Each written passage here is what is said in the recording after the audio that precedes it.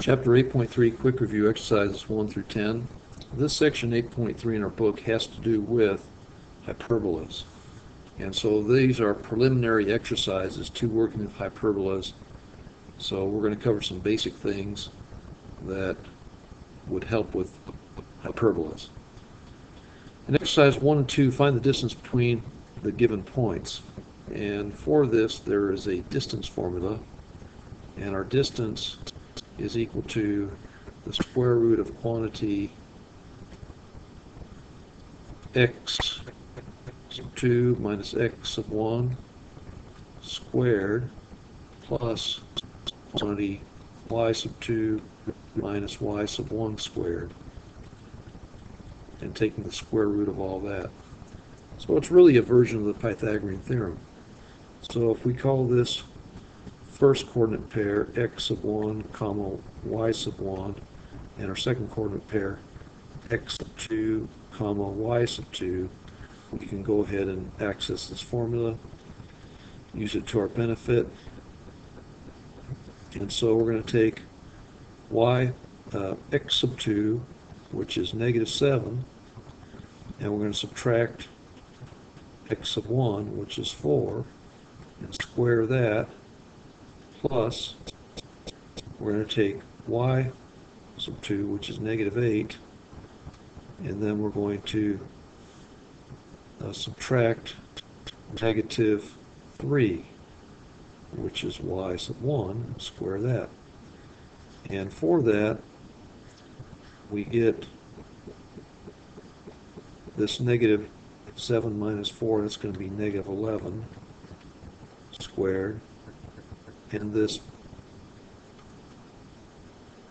negative 8 minus negative 3, well that's going to be negative 5.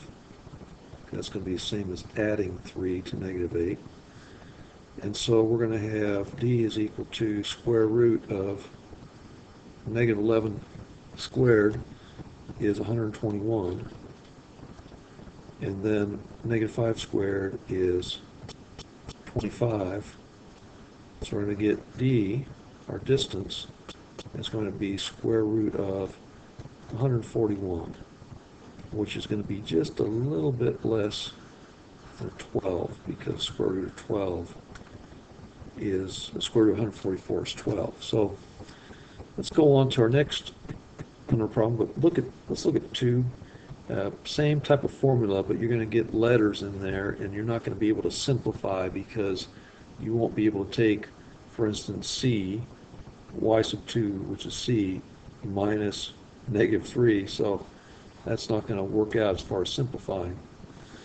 The next exercise 3 and 4 solve for y in terms of x. So we're just going to be solving for y. So we have the equation y squared over 16 minus x squared over 9. And this so happens to be the equation of a hyperbola. And so if we add x squared over 9 to both sides of this equation, we have a cancellation here. And yeah, negative x squared over 9 plus x squared over 9 canceled equals 0. Uh, so we have y squared over 16 is equal to 1 plus x squared over 9. And then if we cross multiply, or just multiply the whole entire equation by 16, we're going to get 16 over 16 cancels, we get y squared is equal to 16 times 1 is 16 plus 16 ninths x squared. And the only thing I want to do first of all here is is uh, factor out 16 ninths from each of these terms on the right.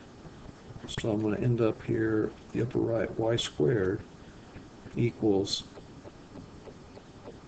16 ninths. Now, 16 ninths times what equals 1? Well, that's going to be 9. And then we have 16 ninths times what equals x squared? Well, that's just going to be x squared. So now what we're going to do is take the square root of both sides of this. So I'm just going to bring this down y squared equals 16 ninths 9 plus x squared. And we take the square root of each side of this equation. We have y equals, now in solving for y, we're going to end up with a plus or minus. And what is the square root of 16 over 9? Well, square root of 16 is 4, and square root of 9 is 3, so we have 4 thirds. Uh, square root of 9 plus x squared. And this is going to be our uh, solution, or solutions for y. We have a plus side and minus side. The, the plus equation represents the top half of the hyperbola, and the negative sign, minus, represents the bottom half of the hyperbola. And then it's a similar type of exercise for problem four. You should get just as a just as a guide y equals plus or minus one third the square root of quantity x squared minus 36. So if you work out problem four, that's what you should get as an answer. Next, problem problems uh, exercise 5 through 8 solve for x. So in this case, the way we have this set up is that it's recommended in the book that 5 and 6 be solved without a calculator and 7 and 8 with a calculator. And so what we're going to do with this is write out square root of 3x plus 12 minus square root of quantity 3x minus 8 is equal to 10. And what we're going to do is square both sides of the equation. And squaring both sides of this equation, we have, I'm going to write it out as explicitly as possible, we have 3x plus 12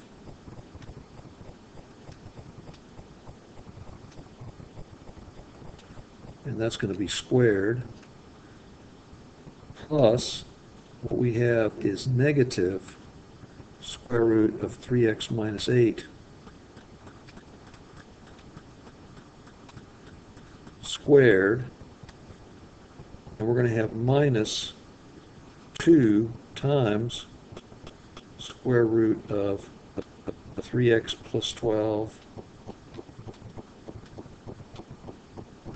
also times 3x minus 8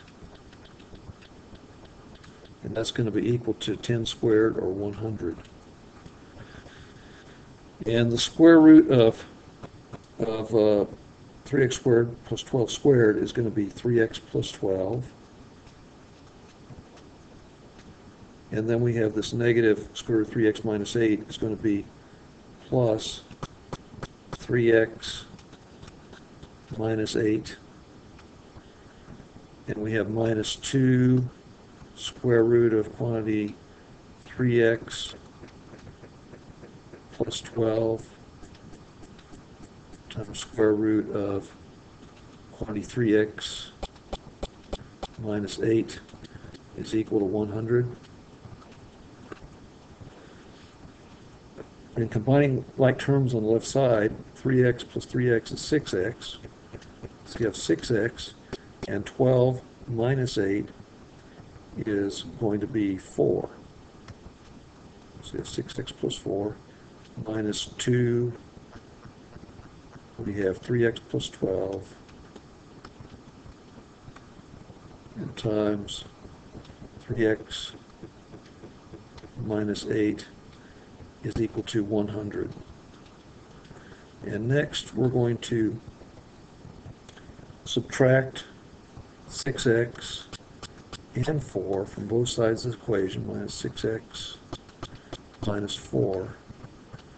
So what we end up with is we have 6x minus 6x cancel, 4 minus 4 cancels. We have negative 2 square root of 3x plus 12 times uh, quantity 3x minus 8. That's going to be equal to negative 6x, and 100 minus 4 is going to be 96. And then we're going to divide everything here by negative 2. So negative 2, both sides of this equation. And what we have is square root of 3x plus 12 times quantity 3x minus 8. And that's going to be equal to negative 6 divided by negative 2 is going to be 3x. And then we have negative uh, 96 divided by negative 2 is going to be minus 48. Now, what we're going to do is square both sides of this equation. Okay, so we square, I put these purple parentheses here. And so what we- we're left with is squaring both sides. We're going to end up with 3x, 23x plus 12, and 3x minus 8, and equals, on the right side, we're going to have 3x times 3x, we're going to have 9, x squared, and we're going to have this 3x times negative 48 times 2, that's going to end up being negative 288x. And then negative 48 times negative 48 is going to be plus 2304. And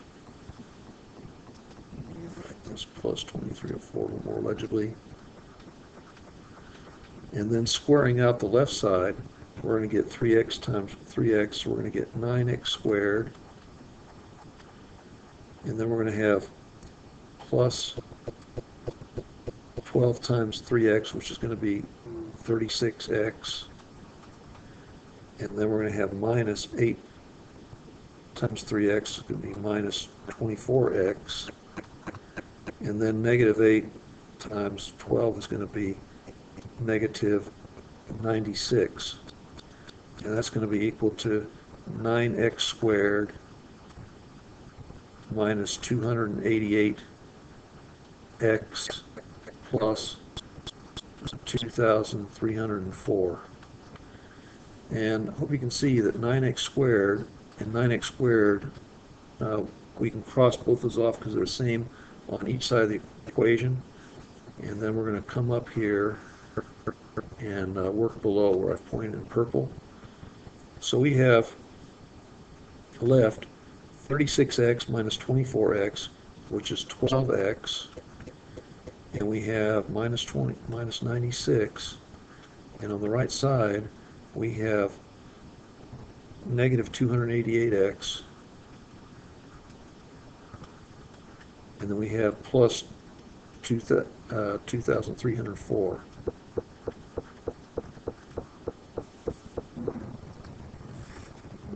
Three. Running out of room. And then we're going to just solve for x. We're going to add 288x to both sides of this equation, plus 288x. And we're going to likewise add 96 to both sides of this equation. So plus 96 on the left, plus 96 on the right, and negative 96 plus 96 cancel. On the right side, we have negative 288x plus 288x, they cancel. And what we're left with is 12x plus 288x, which is 300x, equals uh, 2,304 plus 96, so that's going to be 2,400. And now if we divide both sides of this equation by 300, 300, we have x is equal to 8. Now, the book shows the answer uh, uh, there being no solution. And I toyed with this for a while because I'd come up with x equals 8. But what you have to do is go back into this original equation, which I have up here. If we take 8, okay, we're going to have, plugging in, I'm doing this at the, at the top, we have 3 times 8 plus 12 minus square root of 3 times 8. 3 times 8 minus 8 equal to 10. Well, 3, uh, 3 times 8 is 24 plus 12 is 36. So we get square root of 36 minus, and 3 times 8 minus 8, well, that's going to be minus square root of 16 is equal to 10. And so we have 6 minus 4, square root of 36 is 6, minus 4, square root of 16 is 4, is equal to 10. But we know that that's not true. And so what we call this is there is no solution and more properly stated, we could call this solution an extraneous solution. So no real solution. And what is an extraneous solution? Well, it's a solution that's created in the process of solving the problem. So in, in squaring things, we created this extraneous solution. And you'll find this often in quadratic functions with square root or rational functions or logarithmic equations, solutions. So um, there is no real solution here. Let me just say, let me just write it out here. No real solution.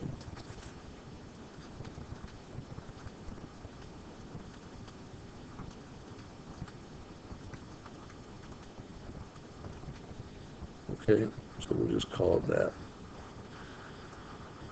And as far as the other problems, in six, if you work out six, you're going to get an answer of x equals 1, something to look forward to. And problems 7 and 8, a graphing calculator suggested. And so what I did in my graphing calculator is I put the left side of this equation in place.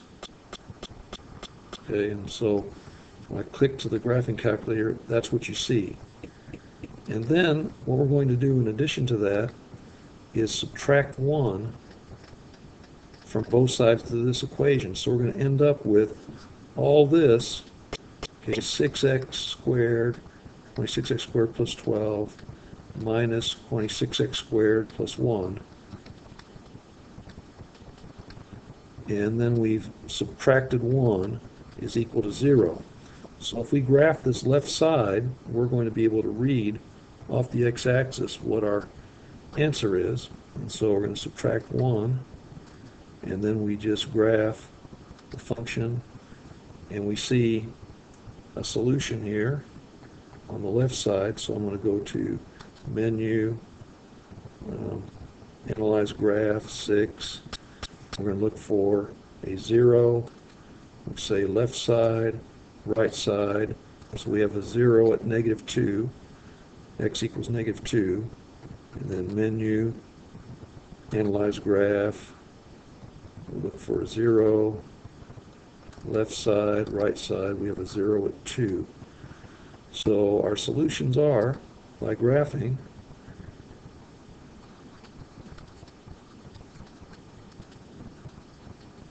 Using a graphing calculator, x equals negative 2, comma, x equals 2.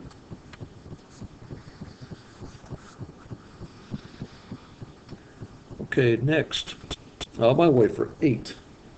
What we're going to get for an answer here is x is approximately equal to 25.55, and also x is approximately equal to negative 25.55. See if you get the same thing by graphing for problem number eight.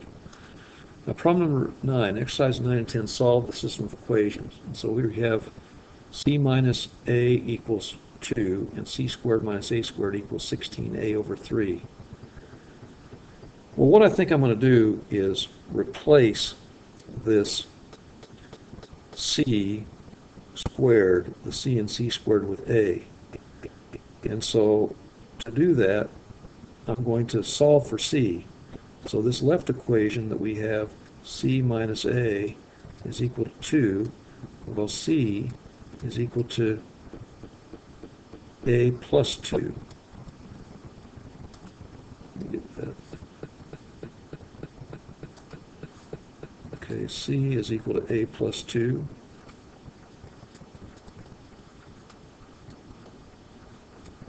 And so substituting a plus 2 in place of c, we have quantity a plus 2, okay, replacing the c, minus a squared equals 16a over 3. And now squaring this out on the left side, we have a squared, and we have plus 4a plus 4, and we have minus a squared is equal to 16a over 3. And a squared minus a squared cancel each other. And so um, let's go ahead and continue. What I'm going to do is change this 4a here into thirds. We have thirds on the right. So 4a in thirds is 12 thirds. A plus 4 is equal to 16 A over 3. And if we subtract 12 thirds A from both sides of this equation,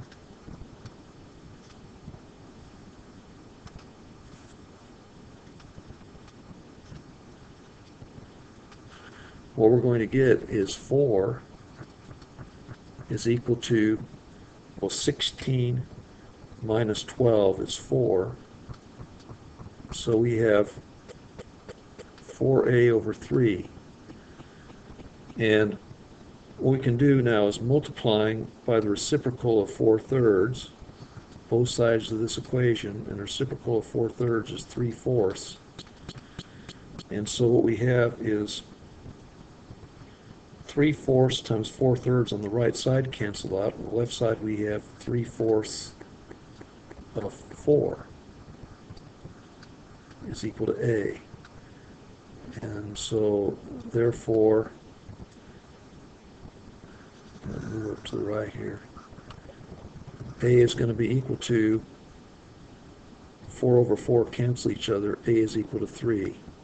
So that's one of our answers. And then we go back to our original equation we're trying to solve for c, and we have, I'm working on the left here, c minus a is equal to 2. Well, if, if a is 3, c minus minus 3 is equal to 2, and adding 3 to both sides of the equation, c is equal to 5. So our solution set is a is equal to 3, and c is equal to 5. And then uh, I'm not going to work it out for, for problem 10. The solutions you're going to get working out the problem are A is equal to 12 and C is equal to 13. So good luck on these even number problems. And thanks for viewing.